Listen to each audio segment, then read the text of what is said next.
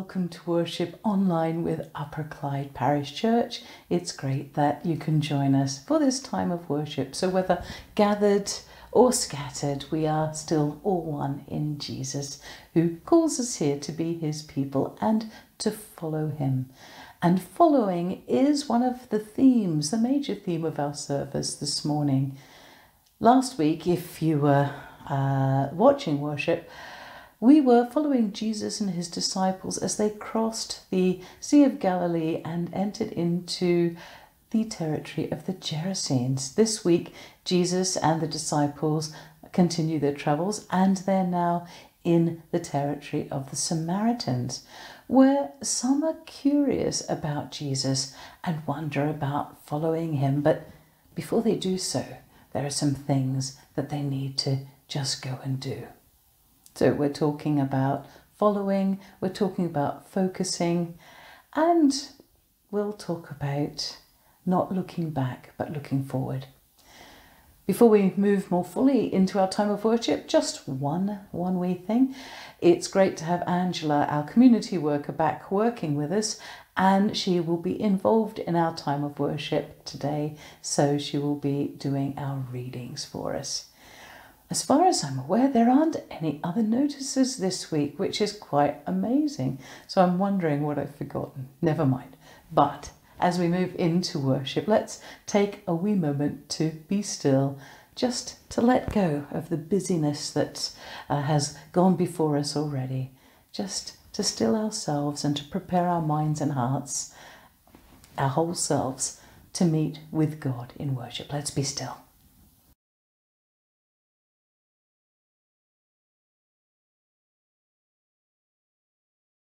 Our call to worship. The time is now, the Lord is here. He calls us in this moment. And so we gather in the power of the Spirit, rejoicing in the fullness of His love. Let us worship God, and our opening hymn of praise is Ye servants of God, your Master proclaim.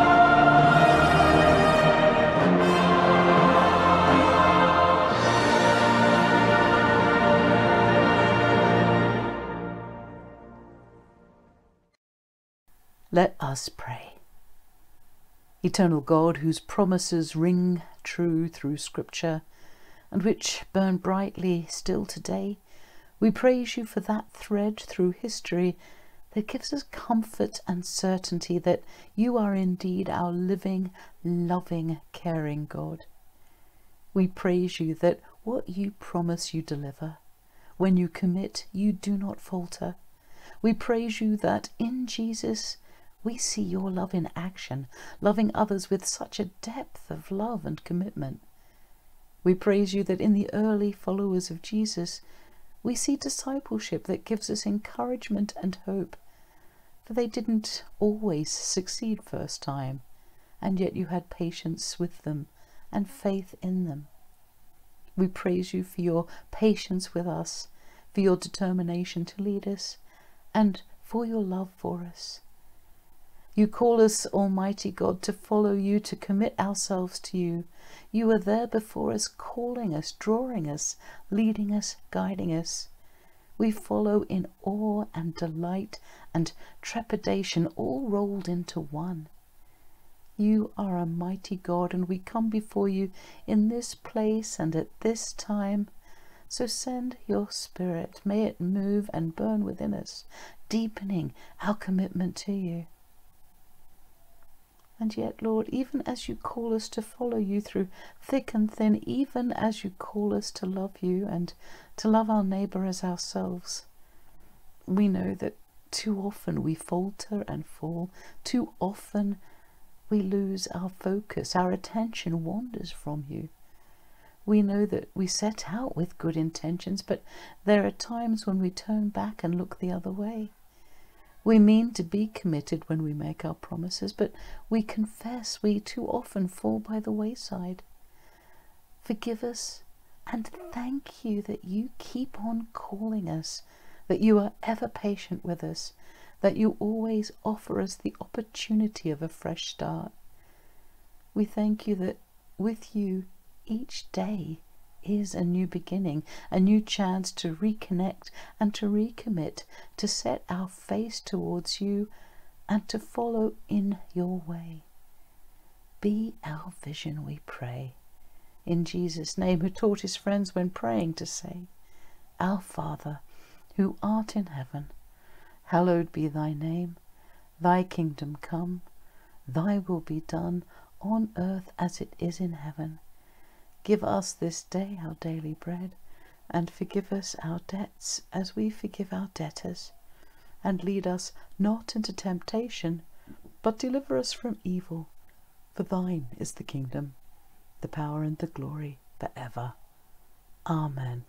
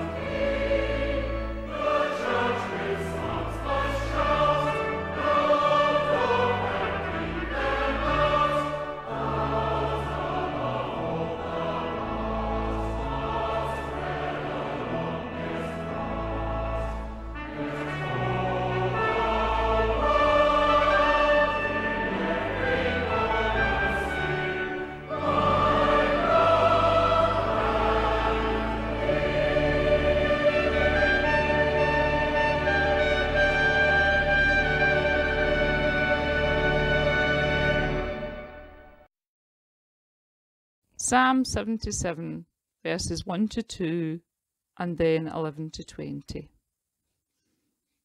I cry aloud to God, aloud to God that he may hear me. In the day of my trouble I seek the Lord. In the night my hand is stretched out without wearying. My soul refuses to be comforted.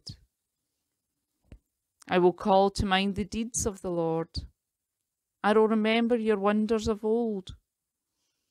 I will meditate on all your work and muse on your mighty deeds. Your way, O God, is holy. What God is so great as our God? You are the God who works wonders. You have displayed your might among the peoples. With your strong arm, you redeemed your people, the descendants of Jacob and Joseph. When the waters saw you, O God, when the waters saw you, they were afraid. The very deep trembled. The clouds poured out water, the skies thundered, your arrows flashed on every side. The crash of your thunder was in the whirlwind. Your lightnings lit up the world. The earth trembled and shook. Your way was through the sea, your path through the mighty waters. Yet your footprints were unseen. You led your people like a flock by the hand of Moses and Aaron. Luke chapter 9, verses 51 to 62. When the days drew near for him to be taken up, he set his face to go to Jerusalem. And he sent messengers ahead of him. On their way, they entered a village of the Samaritans to make ready for him.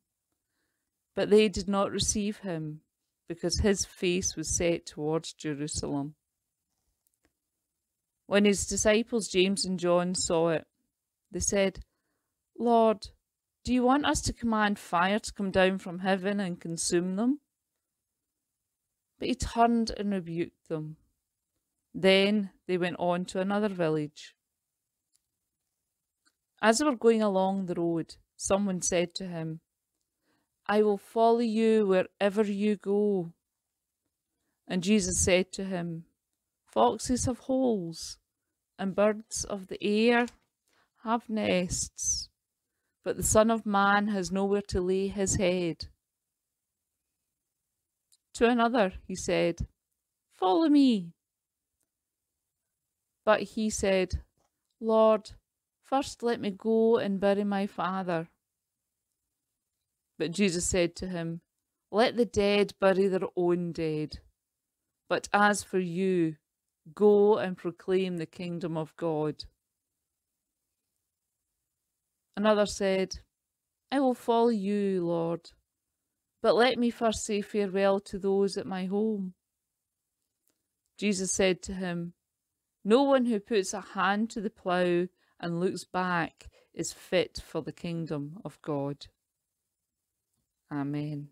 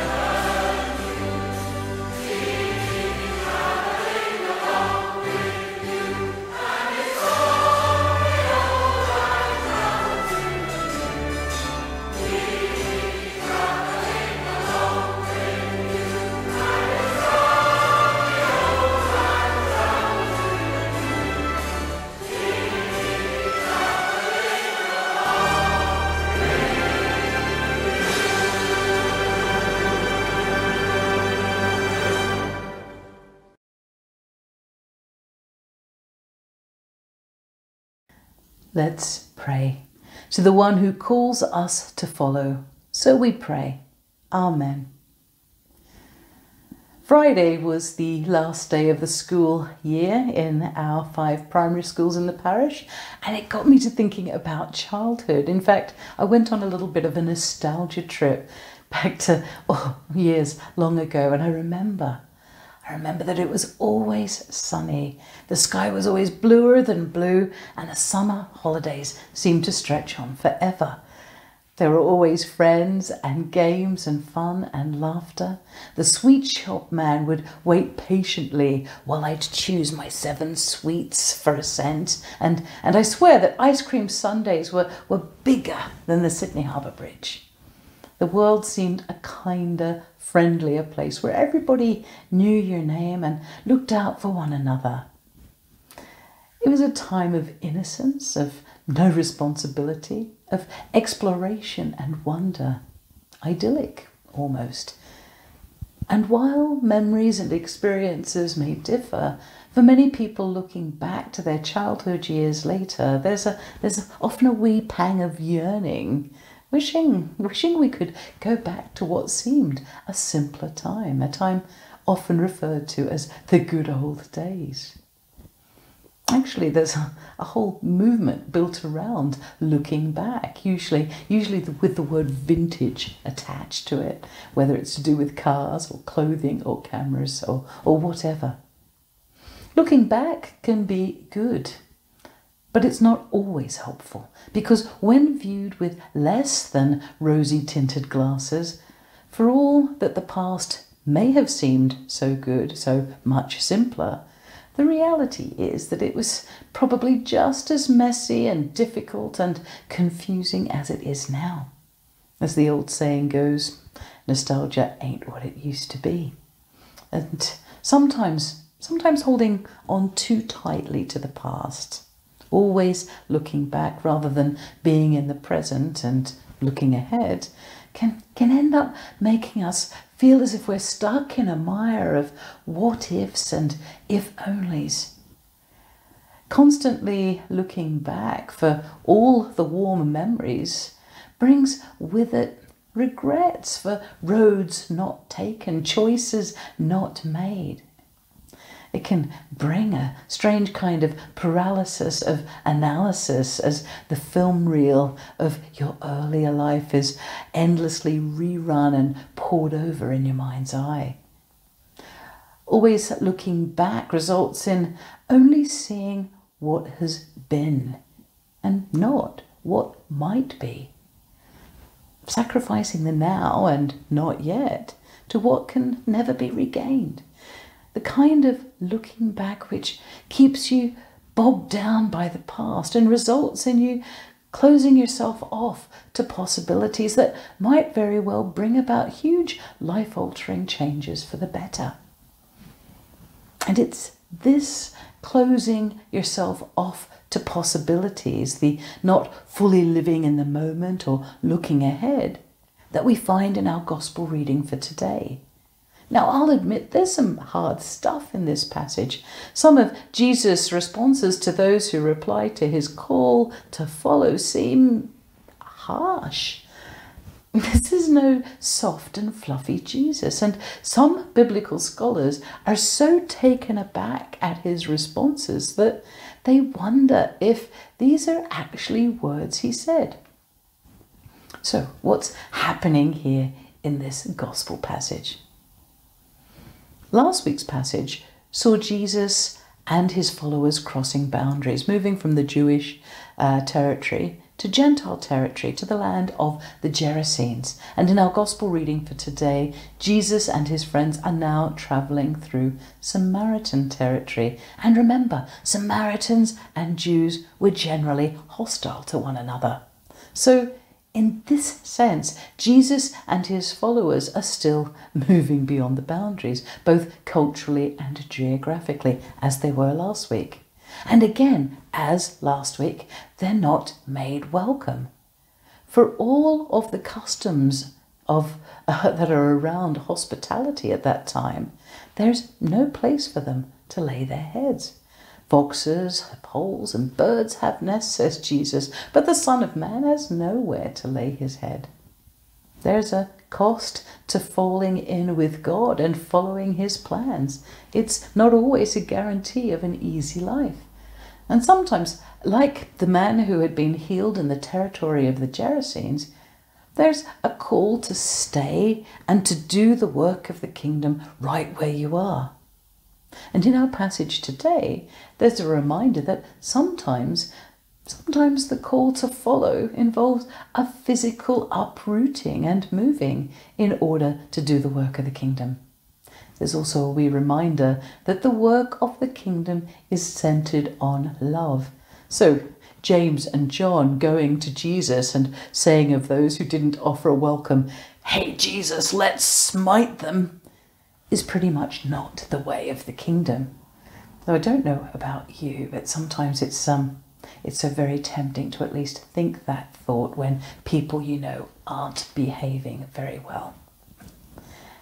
As we know, Jesus and his followers move on, and there are those who are interested in him and his message, and they respond to him. I'll follow you, but. And they present some very compelling reasons to delay.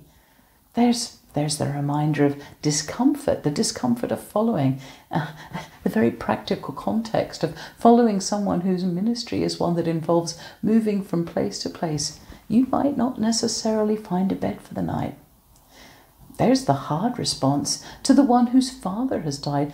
Let the dead bury the dead. Or the response to the one who first wants to say goodbye to their family. No one who puts a hand to the plough and looks back is fit for the kingdom of God. It's tough stuff. And it's a comment on the wrong kind of looking back, the type that so entangles you that you can't follow, that you can't move ahead, the type of looking back that keeps you stuck in the past in this endless loop cycle. Now, twice in our passage, we hear how Jesus has set his face towards Jerusalem. He has a fair idea of what lies ahead for him, and now there's no going back. Playing out over the backdrop of the task that's before him, the response from Jesus to those saying, I'll follow you, but takes in a much bigger and, and more immediate context. There's a, there's a sense here that there'll always, there'll always be something that comes up that will cause those who want to follow Jesus to look back, to lose focus, to become stuck. So, how do you follow Jesus and focus on the work of the kingdom when so many things compete for your attention? Let's look at the psalm for a moment. Our psalmist, in the midst of distress, calls out to God. Very much living in the present moment with all its particular difficulties, here we find someone who looks back to the past but here, rather than an unhealthy obsession with the past and a desire to escape, to, to run away and hide there, what the psalmist does is to use those memories to move forward. There are recollections of what God has done for his people in the past, and from this comes the reminder of God's nature. What God is so great as our God. Boom and there's your focus and you're centered.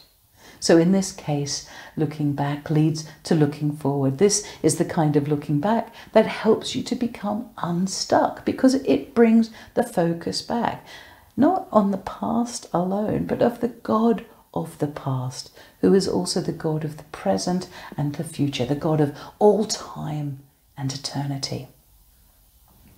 The world in the time of the psalmist was probably, in parts, just as messy and difficult and confusing as it is now.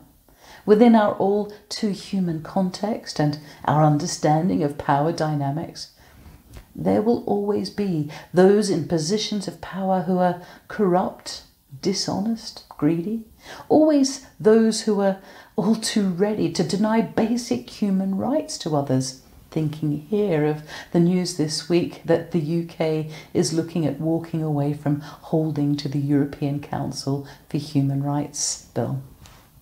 There'll always be those seen only as cogs in the wheel for others' profits, always those having to fight for the right to fair pay and safe working conditions. There'll always be people who will fall through the cracks through no fault of their own, whose, whose opportunities to flourish and live full lives will be stamped on by the system. And there'll always be those who try to control the narrative, to tell a story with a particular slant in such a way as to praise the ones who deny others while blaming the victims. Even so, as those who do our best to follow Jesus and who work for the inbringing of God's kingdom of heaven here on earth, setting our face towards God's kingdom is enshrined in the very prayer that Jesus taught us, which we say every week Your kingdom come, your will be done on earth as it is in heaven. Look, we don't always get it right. We often prefer comfort the comfort of familiarity. And if we take nothing else from our gospel reading today, it's really this. Just don't get stuck. Refocus, move forward, and open yourselves to see the possibilities of a kingdom that sets the baseline for an expectation of how people should be treated and, and sets out what's important for life, both for survival and beyond mere existing, a model for a better way of living, God's kingdom of heaven on earth, to which we are called to participate in and to bring forth. So may it be so. Amen. Some quiet space now for personal reflection as we listen to a piece of music called Open My Heart.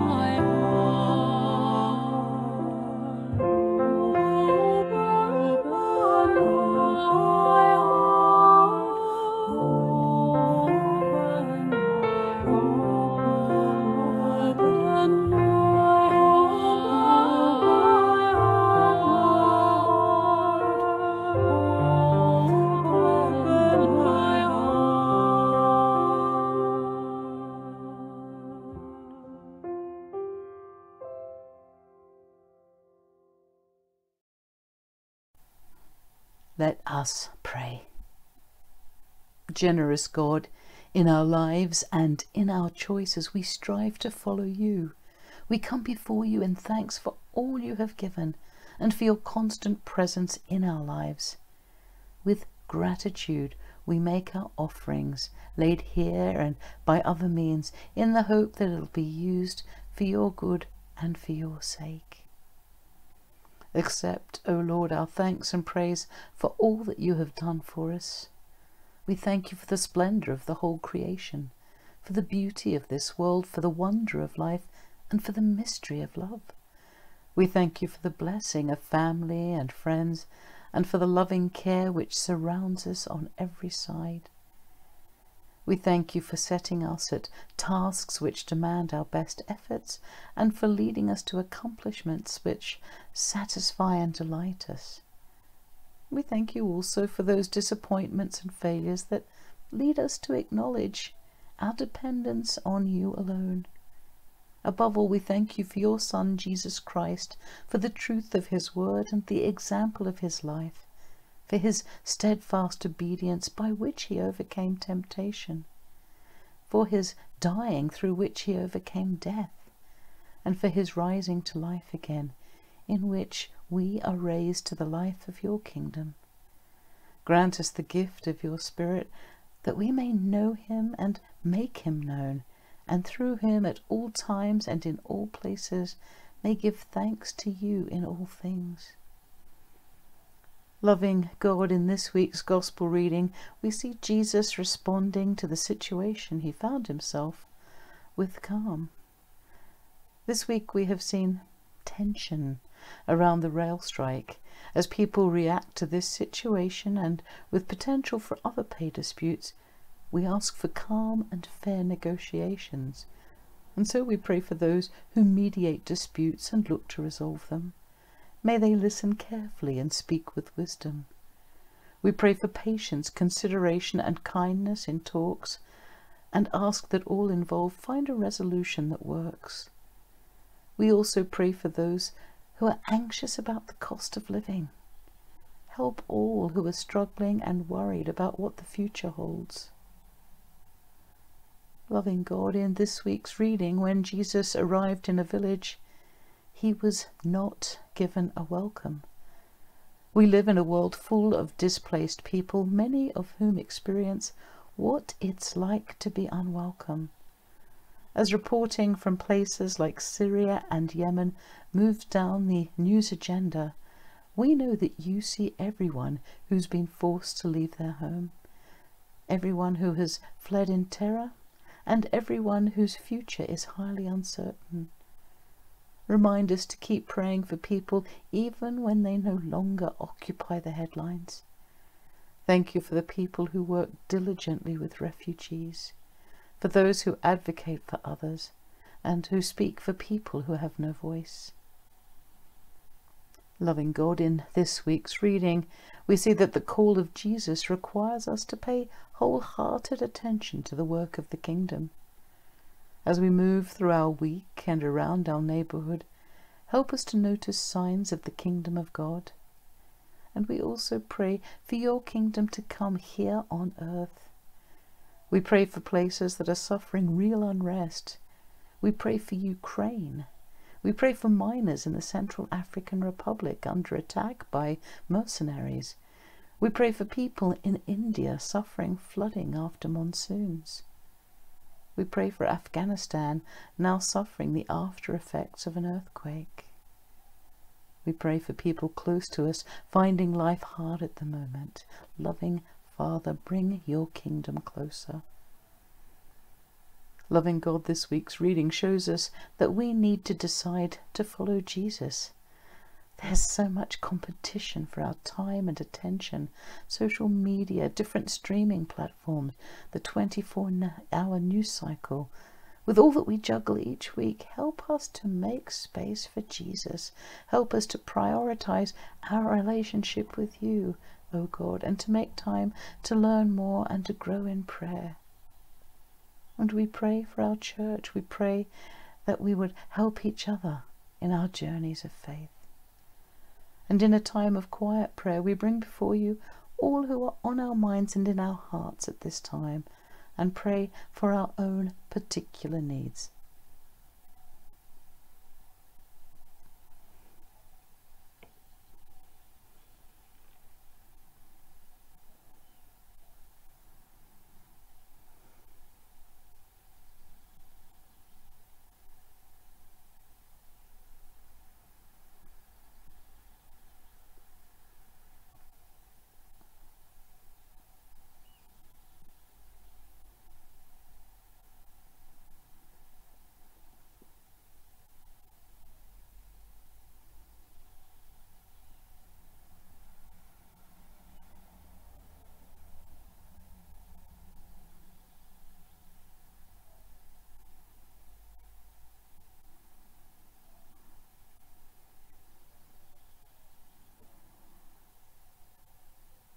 Give you thanks that you hear our prayers and we offer them up in Jesus' name. Amen. Our closing hymn is Forth in Thy Name, O Lord, I Go.